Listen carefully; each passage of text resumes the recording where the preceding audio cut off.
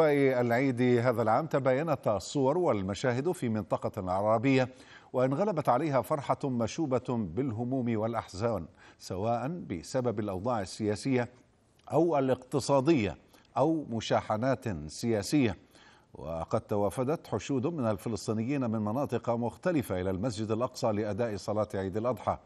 وأقيمت الصلاة وسط تعزيزات أمنية مكثفة من قبل جيش الاحتلال الإسرائيلي.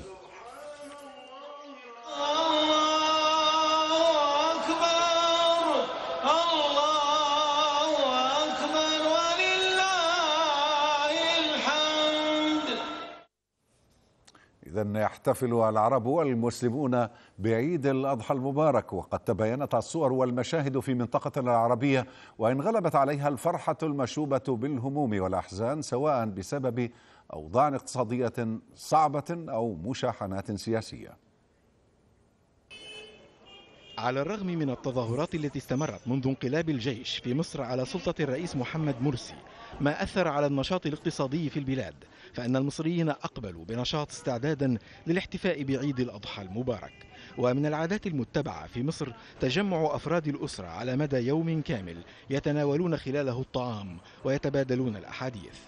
عوايد يعني عندنا إحنا.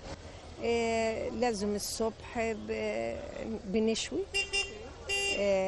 الظهر يعني حاجة عادية جدا.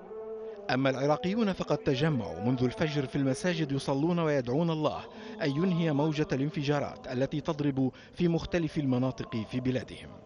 ورسالتي إلى الجميع حكاما ومحكومين إلى كل أبناء هذا البلد الذين يريدون صالحه والذين يريدونه أن يخرج من هذه المحنة وهذه الفتنة التي يمر بها أن يتآلفوا وأن يستثمروا مثل هذه المواسم في التقارب والتآلف والتآزر.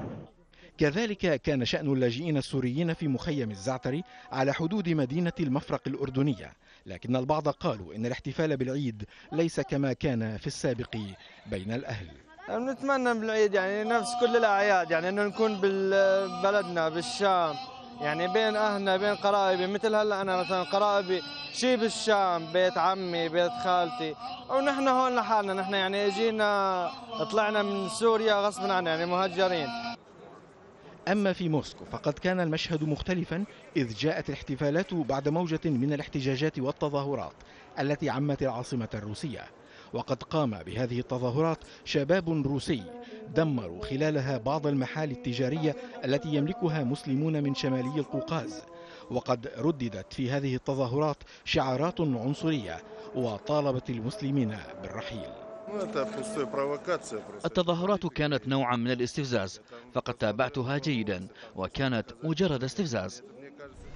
هكذا تختلف مظاهر الاحتفال بالعيد من بلد لآخر ولكنها تمثل في مجملها ضربا من الاستقرار والهدوء النفسي بعد فترة طويلة من الاضطرابات التي ظلت تشهدها كثير من المناطق في العالم العربي.